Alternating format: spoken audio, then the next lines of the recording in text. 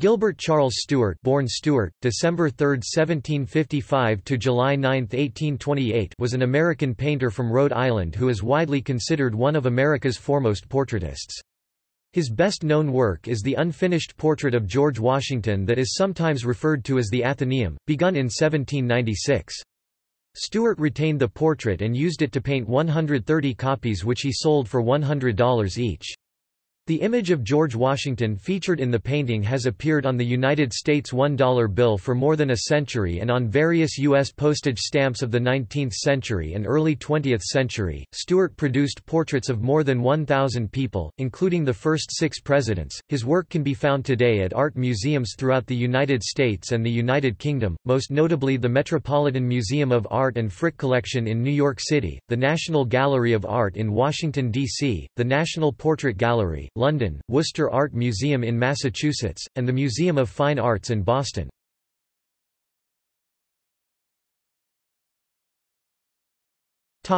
Biography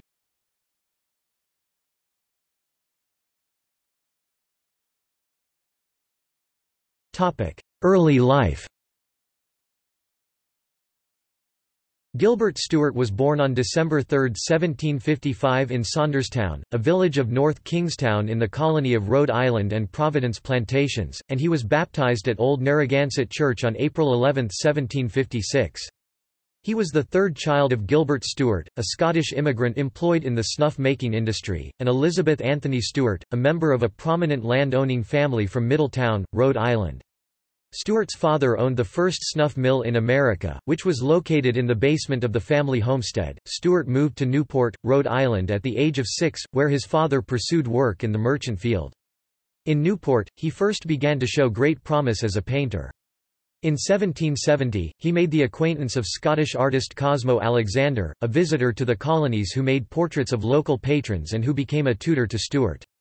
Under the guidance of Alexander, Stuart painted the famous portrait Dr. Hunter's Spaniels when he was 14. It hangs today in the Hunter House mansion in Newport. In 1771, Stuart moved to Scotland with Alexander to finish his studies, however, Alexander died in Edinburgh one year later.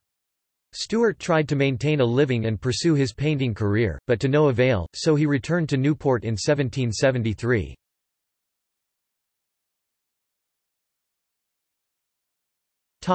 England and Ireland Stuart's prospects as a portraitist were jeopardized by the onset of the American Revolution and its social disruptions. He departed for England in 1775 following the example set by John Singleton Copley. He was unsuccessful at first in pursuit of his vocation, but he then became a protégé of Benjamin West with whom he studied for the next six years. The relationship was beneficial, with Stuart exhibiting at the Royal Academy as early as 1777. By 1782, Stuart had met with success, largely due to a claim for The Skater, a portrait of William Grant. It was Stuart's first full-length portrait and, according to art historian Margaret C. S. Christman, it belied the prevailing opinion that Stuart made a tolerable likeness of a face, but as to the figure, he could not get below the fifth button. Stuart said that he was suddenly lifted into fame by a single picture. At one point, the prices for his pictures were exceeded only by those of renowned English artists Joshua Reynolds and Thomas Gainsborough. Despite his many commissions, however, he was habitually neglectful of finances and was in danger of being sent to debtor's prison. In 1787, he fled to Dublin, Ireland where he painted and accumulated debt with equal vigour.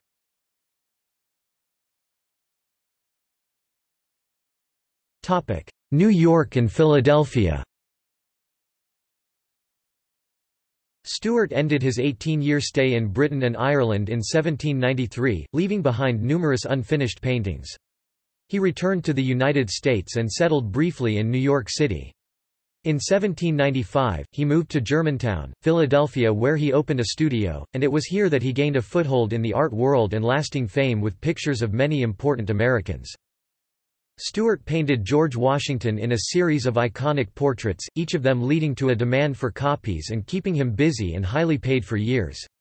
The most famous and celebrated of these likenesses is known as the Athenaeum and is portrayed on the United States $1 bill. Stuart and his daughters painted a total of 130 reproductions of the Athenaeum. However, he never completed the original version. After finishing Washington's face, he kept the original version to make the copies. He sold up to 70 of his reproductions for a price of $100 each, but the original portrait was left unfinished at the time of his death in 1828.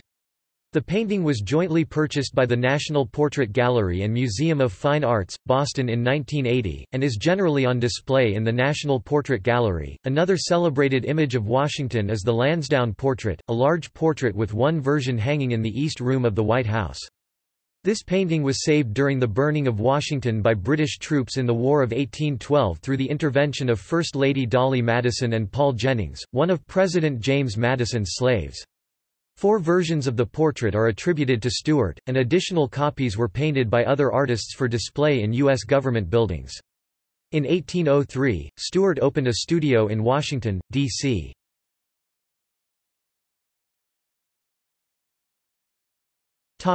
Boston, 1805–1828 Stuart moved to Devonshire Street in Boston in 1805, continuing in both critical acclaim and financial troubles. He exhibited works locally at Doggett's Repository and Julien Hall. He was sought out for advice by other artists, such as John Trumbull, Thomas Sully, Washington Allston, and John Vanderlyn.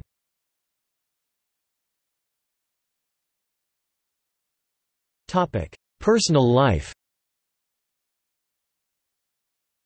Stuart married Charlotte Coates about September 1786, who was 13 years his junior and exceedingly pretty. They had 12 children, five of whom died by 1815 and two others died while they were young. Their daughter Jane (1812–1888) was also a painter. She sold many of his paintings and her replicas of them from her studios in Boston and Newport, Rhode Island. In 2011, she was inducted into the Rhode Island Heritage Hall of Fame. In 1824, he suffered a stroke which left him partially paralyzed, but he still continued to paint for two years until his death in Boston on July 9, 1828 at 72. He was buried in the Old South Burial Ground of the Boston Common. Stuart left his family deeply in debt, and his wife and daughters were unable to purchase a grave site. He was, therefore, buried in an unmarked grave which was purchased cheaply from Benjamin Howland, a local carpenter. His family recovered from their financial troubles ten years later, and they planned to move his body to a family cemetery in Newport. However, they could not remember the exact location of his body, and it was never moved. There is a monument for Stuart, his wife, and their children at the Common Burying Ground in Newport. The Boston Athenaeum held a benefit exhibition of Stuart's works in August 1828 in an effort to provide financial aid for his family. More than 250 portraits were lent for this critically acclaimed and well-subscribed exhibition. This also marked the first public showing of his unfinished 1796 Athenaeum head portrait of Washington. Topic legacy By the end of his career, Gilbert Stuart had painted the likenesses of more than 1,000 American political and social figures. He was praised for the vitality and naturalness of his portraits, and his subjects found his company agreeable. John Adams said, speaking generally, no penance is like having one's picture done. You must sit in a constrained and unnatural position, which is a trial to the temper. But I should like to sit to Stuart from the 1st of January to the last of December, for he lets me do just what I please, and keeps me constantly amused by his conversation. Stuart was known for working without the aid of sketches, beginning directly upon the canvas, which was very unusual for the time period. His approach is suggested by the advice which he gave to his pupil Matthew Harris Jouett, never be sparing of color, load your pictures, but keep your colors as separate as you can. No blending, tis destruction to clear and be you Tiffel effect. John Henri Isaac Browere created a life mask of Stuart around 1825. In 1940, the U.S. Post Office issued a series of postage stamps called the Famous Americans Series commemorating famous artists, authors, inventors, scientists, poets, educators, and musicians. Gilbert Stuart is found on the one-cent issue in the Artists category, along with James McNeill Whistler, Augustus St. Gaudens, Daniel Chester French, and Frederic Remington. Today, Stuart's birthplace in Saunderstown, Rhode Island is open to the public as the Gilbert Stuart Birthplace and Museum. The museum consists of the original house where he was born, with copies of his paintings hanging throughout the house. The museum opened in 1930. Gilbert Stuart's paintings of Washington, Jefferson, and others have served as models for dozens of U.S. postage stamps. Washington's image from the famous portrait The Athenaeum is probably the most noted example of Stuart's work on postage.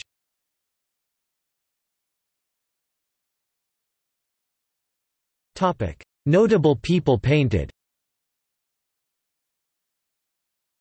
This is a partial list of portraits painted by Stuart.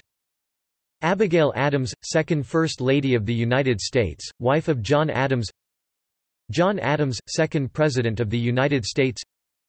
John Quincy Adams, sixth President of the United States.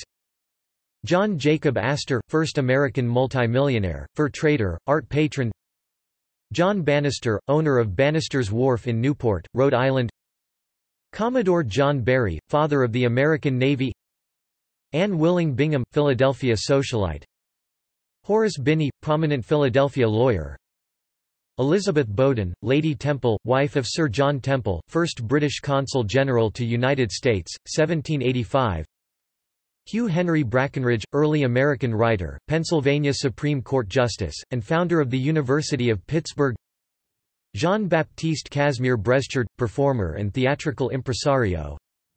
Rosalie Stier Calvert, Belgian-born heiress and mother of Charles Benedict Calvert Mary Willing Clymer, Philadelphia socialite. John Singleton Copley, American colonial portraitist. Thomas Dawes, early American architect, builder, military leader, politician. Horatio Gates, American Revolutionary War general. King George III, King of United Kingdom of Great Britain and Ireland, 1760–1820 King George IV, King of United Kingdom of Great Britain and Ireland, 1820–30 John Jay, First Chief Justice of the United States Supreme Court. Thomas Jefferson, third President of the United States. Rufus King, a signer of United States Constitution. Robert Kingsmill, Admiral in Royal Navy during American and French Revolutionary Wars. King Louis XVI, King of France, 1774–92 James Madison, fourth President of the United States Samuel Miles, Revolutionary War General and Philadelphia Mayor James Monroe, fifth President of the United States Daniel Pinkney Parker, prominent Boston merchant John Randolph of Roanoke, Virginia Congressman and Senator Joshua Reynolds, English artist Henry Rice, Boston merchant and Massachusetts state legislator John Taylor III, wealthiest planter in Virginia, builder of the Octagon House in Washington, D.C., later used as French embassy and subsequently executive mansion by James Madison after British burned the White House. Thomas Townshend, 1st Viscount Sydney, the cities of Sydney in New South Wales and Sydney, Nova Scotia are named in his honour. John Trumbull, artist during the period of the American Revolutionary War. George Washington, first President of the United States Martha Washington, First Lady of the United States, wife of George Washington. Benjamin West, American painter. Catherine Brass Yates, Philadelphia socialite. John Bill Ricketts, equestrian, leader of Ricketts Circus in Philadelphia.